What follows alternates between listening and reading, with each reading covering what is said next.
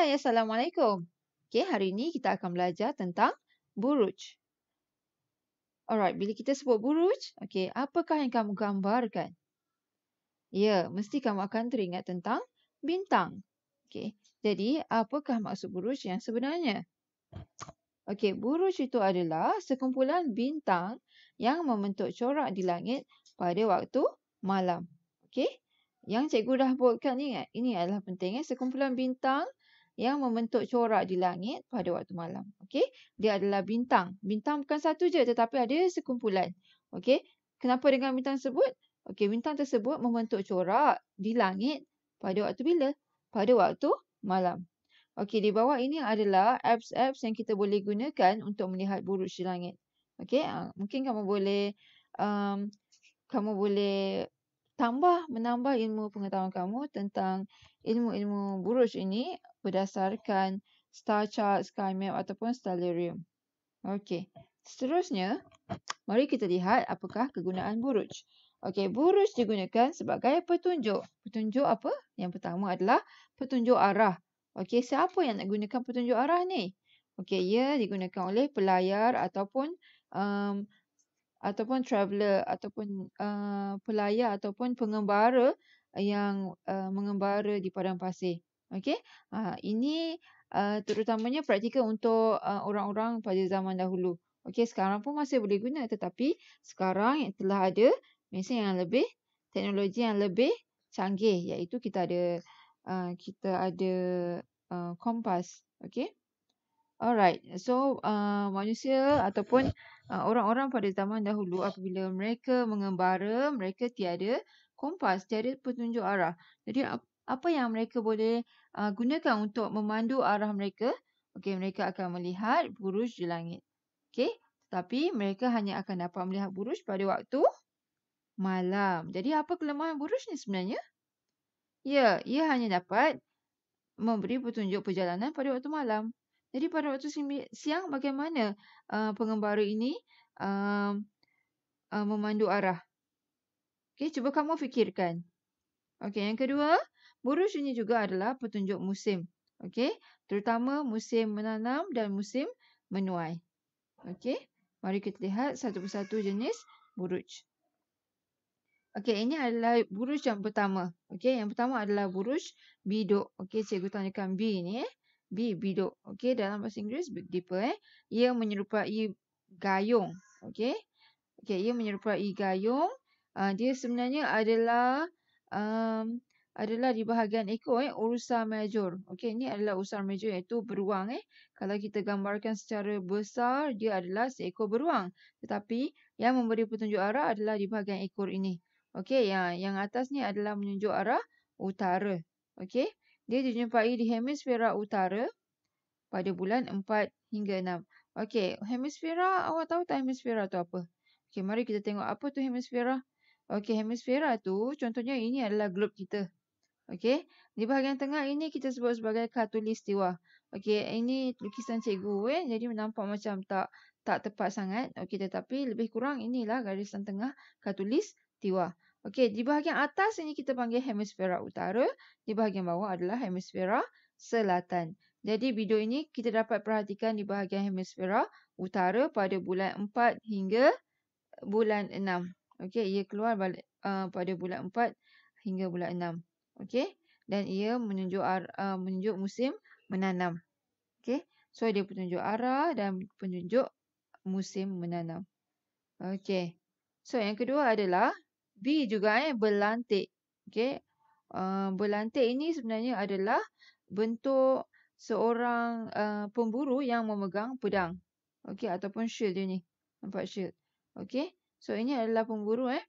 So um, dia dijumpai di hemisfera utara dan selatan. Uh, kat mana tu sebenarnya? Okey, mari kita tengok hemisfera tadi, globe tadi. Okey. Sebentar ya cikgu cari. Ya, di sini. Okey. Ah, ini Orion ataupun berlantik. Kita jumpa di dia berhampiran dengan khatulistiwa eh. Maksudnya orang di hemisfera utara boleh nampak, orang di hemisfera selatan pun boleh nampak. Ha, okey. Ha, ini adalah berlantik. Okey, apa kegunaan dia? Okey, kegunaan dia adalah sebagai petunjuk arah utara. Okey. Dan dia keluar pada musim dia uh, boleh dilihat eh dicerap pada bulan 12 hingga bulan 2. Okey, bulan 12 hingga bulan 2 kita akan dapat melihat uh, belantik ini. Okey. Okey, seterusnya. Okey. Ah, ada murid cikgu yang tanya. Okey, bagaimana arah utara kalau macam video tadi kita nampak ni arah utara. Okey, kalau belantik ni macam mana nak tahu arah utara? Okey. Ah, ini bukan arah utara, ini adalah arah kiblat. Okey. Untuk orang Islam uh, yang uh, yang hendak menentukan arah kiblat, mereka boleh gunakan uh, oraya ni ataupun belantik ini untuk melihat arah kiblat. Okey. Uh, ini adalah tiga bintang di tali pinggang dia, eh, tali pinggangnya menunjuk arah kiblat. Okey. Bagaimana pula untuk melihat arah utara? Ah, sebenarnya dia lagi complicated arah utara ni. Okey.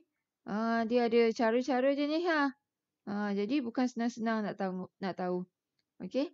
Dia kena guna uh, index finger dengan uh, thumb ni ha untuk melihat tunjuk arah utara. Okey. So cikgu rasa tak perlu untuk yang ni terlalu mendalam. Okey, cuma kamu hanya perlu tahu uh, bahawa belantik digunakan untuk menunjuk arah utara. Okey, bagi orang Islam untuk menunjuk arah kiblat. Okey. Seterusnya adalah pari. Okey, tadi kita dah B belantik, B lagi B duduk. Dua-dua B, B tu untuk menunjuk arah utara. Okey, ingat eh. Dan seterusnya, P pari. Okey, pari ni menyerupai layang-layang. Nampak macam layang-layang kan? Okey, dia dijumpai di hemisfera selatan pada bulan 4 hingga 6. Ah, ingat tak lagi siapa yang keluar pada bulan 4 hingga 6 tadi? Ya, yeah, okey. Iaitu biduk. Biduk pun 4 hingga 6 pari pun 4 hingga 6 tetapi biduk di hemisfera utara dan berpari di hemisfera selatan. Okey. So apa kegunaan pari ni sebenarnya? Dia adalah petunjuk arah selah selatan. Ni arah dia. Okey. Ni ke bawah ni adalah menunjuk arah selatan. Okey, kita tengok semula kat sini eh.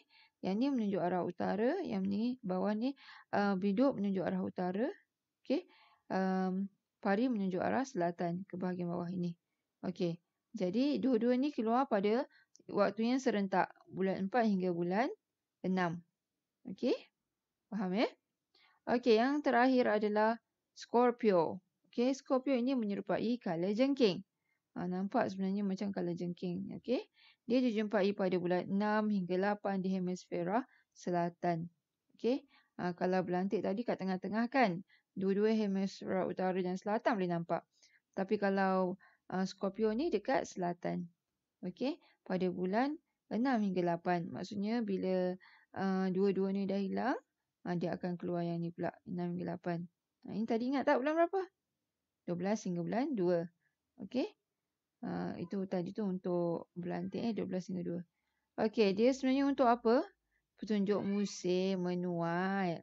Arah tak ada eh, bukan petunjuk arah, tetapi untuk petunjuk musim menuai.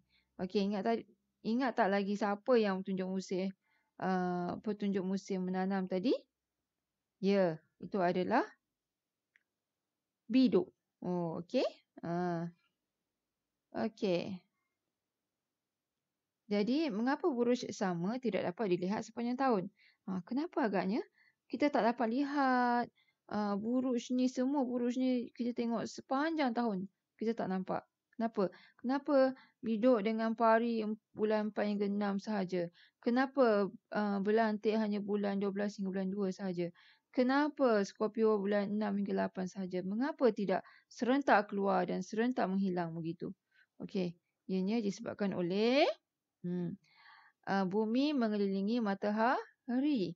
Okey, So dan dia berputar dan mengelilingi matahari.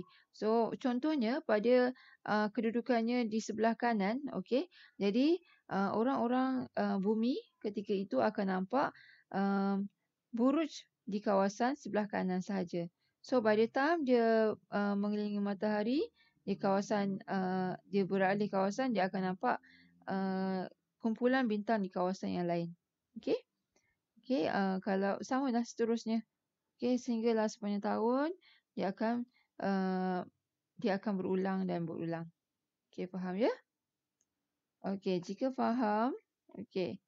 Cuba kamu di rumah, cuba kamu buat projek buruj, teleskop buruj ini. Okey, hanya kamu boleh gunakan uh, paper, cup, apa um, kertas cawan, okey, kemudian kamu lekatkan dengan kertas di atasnya dan lakarkan serta uh, cucukkan kawasan bintang-bintang tersebut. Okey, kamu boleh teropong di bahagian bawah ini okay, ataupun nyalakan lampu di bahagian bawah dan kamu lihat uh, bintang-bintang ataupun imej-imej yang terhasil um, apabila kamu menyalakan uh, lampu picit di di dalam bilik yang gelap. Okey, cuba kamu buat di rumah. Okey dan dapatkan hasilnya. Okey, mesti seronok. Okey. Uh, cikgu rasa sehingga itu sahaja daripada cikgu. Cikgu harap kelas cikgu ini dapat membantu kamu memahami topik buruj. Okey, sekian. Uh, terima kasih.